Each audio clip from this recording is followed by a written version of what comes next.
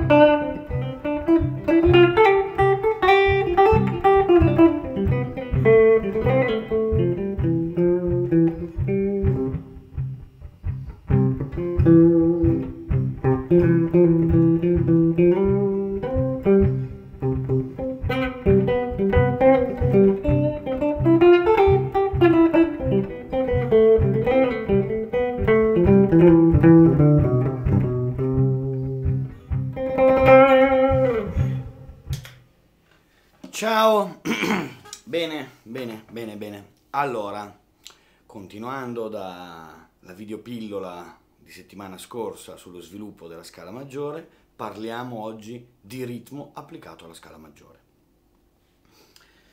Allora, il mio punto di vista, per quel che mi riguarda, per l'amor del cielo, tanto quanto sono importanti eh, tutte le regole, le possibili applicazioni di scale, arpeggi, colori, diminuito, l'esattonale, i modi, i modi della minore armonica, melodica, maggiore, tutto quanto riguarda lo sviluppo della mano sinistra è importantissimo per carità per il fraseggio, ma il mio punto di vista è che la musica è principalmente un fattore di temperamento ritmico, cioè dal mio punto di vista 10.000 note senza il giusto ritmo non valgono tanto quanto una nota ma col giusto ritmo posizionata nel, nel modo giusto è, è una prima pietra per cominciare bene il fraseggio un'idea ritmica applicata a un concetto melodico armonico permette lo sviluppo del fraseggio. È un altro binario comunque da percorrere per sviluppare le proprie capacità.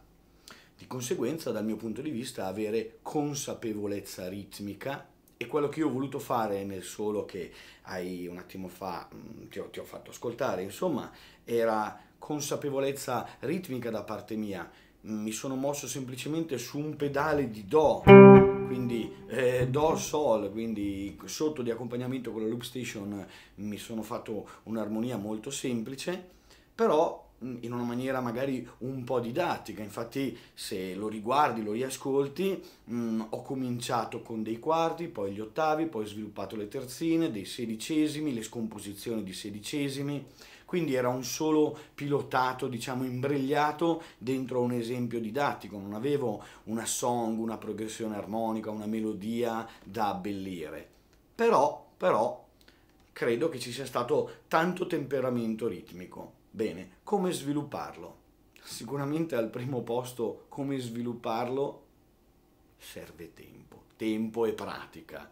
Questo proprio non, non ci piove, cioè la dedizione ti porta assolutamente dei risultati. Dedizione e costanza. E quindi questo per quel che mi riguarda sta al numero uno. Quindi tutti i giorni una mezz'ora in cui ti dedichi al ritmo dove all'interno di questa mezz'ora puoi dedicare 5 minuti ad esempio al solfeggio ritmico. Il solfeggio ritmico mm, trovi sul web, ci sono un sacco di libri, io consiglio ad esempio il Dante Agostini, è un ottimo libro, a me personalmente da ragazzino esiste, credo da sempre questo libro, cioè che me lo ricordo io, ce l'ho dagli anni 80, è un ottimo libro per eh, leggere ritmicamente, ma ormai al giorno d'oggi ce ne sono veramente tanti di titoli, li trovi tranquillamente sul web, eh, insomma nei migliori negozi, no? Eh, e quindi il solfeggio ritmico è già molto importante, cioè leggere ritmicamente, quindi su un pentagramma ci sono le divisioni ritmiche di queste note, ma nella maggior parte dei casi dei libri di solfeggio ritmico è sempre la stessa nota, cioè non abbiamo un solfeggio parlato, un'altezza musicale, devi leggere soltanto il ritmo. Io consiglio in quell'approccio, mm, in un primo approccio, di magari eh, leggerlo picchiettando su un tavolo, ad esempio una sequenza di quarti, 1, 2, 3, 4, ottavi, 1 and 2 and 3 and 4 and terzine 1 ta ta 2 ta ta 3 ta ta 4 ta sedicesimi 1 i endia 2 i endia 3 i endia 4 consiglia, molto importante praticarlo con la mano destra, con un pletro, con una matita in mano, picchiettando sul tavolo intanto che si leggono i solfeggi ritmici, dove ovviamente ti andranno a mettere delle figure eh, eh, miste e con una gradualità mm, si parte da un livello molto semplice per arrivare a delle cose molto complesse. Questo permette di sviluppare il proprio senso del tempo e se praticato con la mano destra picchiettando sul tavolo, è poi la stessa cosa che tu potrai comunque trasmettere automaticamente alla chitarra. Di conseguenza le figure ritmiche principali, io adesso voglio fare, voglio fare questa cosa, no? mm, darti consapevolezza, per chi non conosce, di una panoramica di ritmi e poi far vedere come poterci giocare con la scala maggiore ed applicare. Quindi vediamo questa prima panoramica e mi serve ovviamente una, una base ritmica, è fondamentale, fondamentale, cioè al numero 2, dopo tanta pratica, al numero 2 ci sta l'uso del metronomo. L'uso del metronomo io ritengo vado fuori camera perché l'ho dimenticato qui a un passo. E eh, l'uso del metronomo è fondamentale perché studiare il ritmo senza, senza il, il metronomo vuol dire fondamentalmente farsi del male, cioè farsi del male ritmicamente. Si è convinti di studiare nel modo giusto, ma in realtà mh, mm, si rischia sempre nei momenti di difficoltà di allargarsi sul tempo, di anticipare senza avere consapevolezza e questo poi nel momento in cui ci troviamo a dover pilotare ritmicamente con un amico di fianco che tiene il tempo, non siamo perfettamente stabili. Quindi al numero 2 sicuramente l'uso del metronomo. Ok, lo senti? Vediamo, alzo il volume. Ok.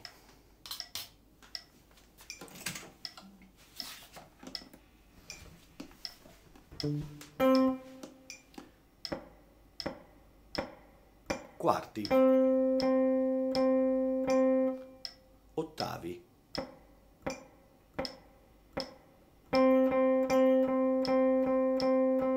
terzine,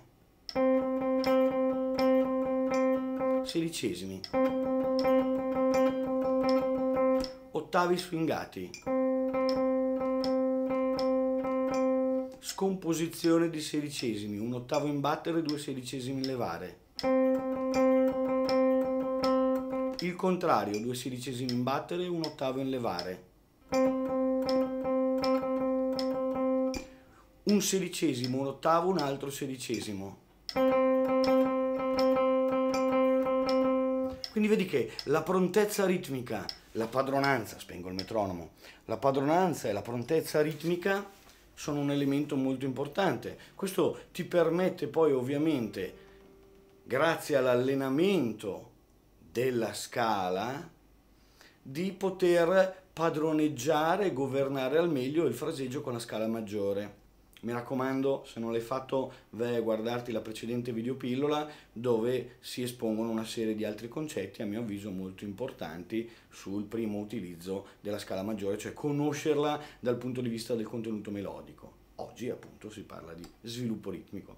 Perché poi sviluppo ritmico nei confronti della scala maggiore? Allora, la musica diatonica, siccome la scala maggiore sviluppa ovviamente le progressioni tonali, le progressioni diatoniche, e le progressioni diatoniche hanno insite le cadenze. La cadenza più importante è la cadenza perfetta quinto primo, dove involontariamente ti chiede quantomeno di pilotare una risoluzione, cioè nel momento in cui in Do maggiore arriva il Sol 7 che inesorabilmente va verso Do major 7, a questo punto dobbiamo decidere come concludere ad esempio il nostro fraseggio e quella sarà la nota target, la nota bersaglio, la nota che darà maggior liricità. Ok, e questa è l'ultima nota, ne ho già parlato in altre videopillole, come ad esempio la precedente, vatela a vedere.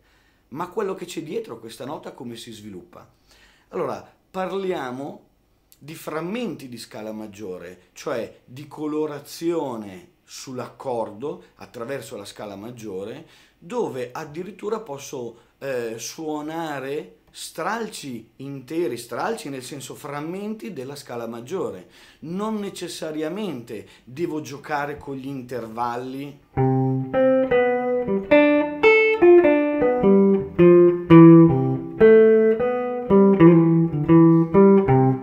Vedi che qui ho aperto una serie di intervalli, cioè non ho usato la scala per passing tone, cioè per note di passaggio.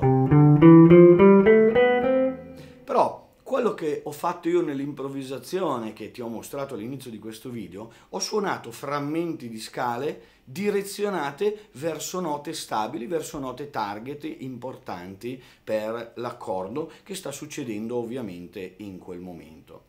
Quindi, da questa prima esercitazione di consapevolezza dei ritmi, il passo successivo che ti consiglio di fare è registrarti semplicemente un accordo accompagnato in quarti, quindi con un ritmo semplicissimo che ti possa essere d'aiuto. Ti faccio sentire come.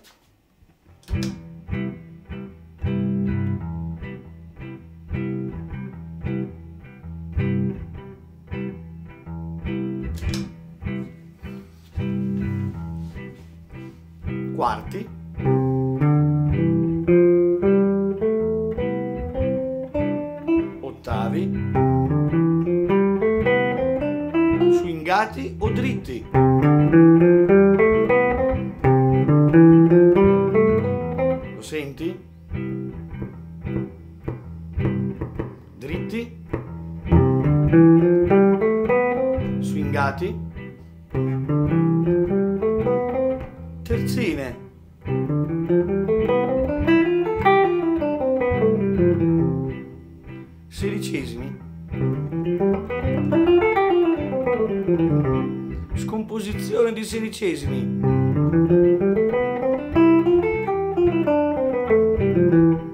Eccetera, eccetera. Cioè, l'applicazione fondamentalmente di ciò che prima con una singola nota ti sei reso consapevole, spalmato in pratica su tutta la scala dove puoi articolare ed estendere fraseggi.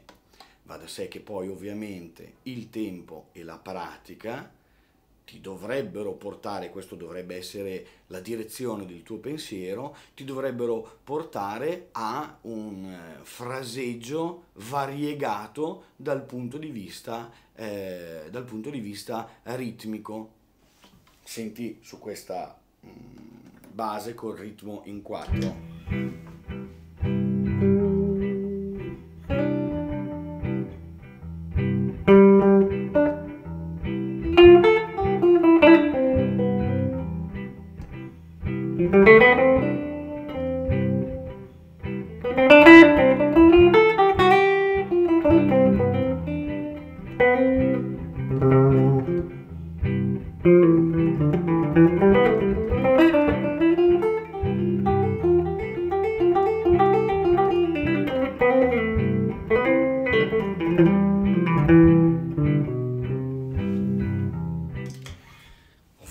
Serve tempo e pratica, ma l'incipit di sviluppo al numero uno sicuramente costanza, studio accurato e separato da tutto ciò che è armonico e melodico, cioè studio accurato solo del tempo, del timing, su uno studio della mano destra, applicandolo poi successivamente alla scala maggiore e quindi non più alla singola nota, ma creando delle frasi con consapevole utilizzo delle duine, delle duine swingate, delle terzine, delle scomposizioni di terzine, delle quartine di sedicesimi, delle cinque possibili scomposizioni delle quartine di sedicesimi, delle cinquine, delle settimine, dei tempi dispari. Qui ovviamente si entra decisamente nei virtuosismi, ci vuole tempo e pazienza, però con tempo e pazienza, costanza e metronomo, mi raccomando, il metronomo è fondamentale, è fondamentale, ok?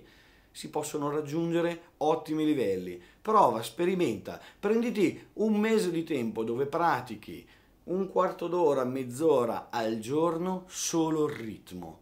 Osserva già dopo una settimana come migliora il senso del tuo fraseggio. Ovviamente prima sviluppi la mano destra, poi devi applicare a tutti i concetti che la tua mano sinistra conosce, scale, arpeggi e anche accordi accompagnamenti, perché ovviamente ti migliorerà anche lì. Bene, spero di esserti stato utile con questa videopillola e quindi ti chiedo di condividerla come sempre con i tuoi amici sulla bacheca di Facebook e metti un like alla pagina La chitarra jazz per tutti se non l'hai ancora fatto. Con questa ho finito e alla prossima, buona musica. Ciao ciao!